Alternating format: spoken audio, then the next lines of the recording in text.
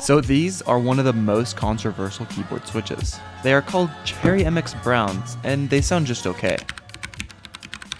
But Cherry Browns actually sound pretty good in endgame builds, so let's see if I can make this sound better with mods. After these mods, let's see if it helped at all.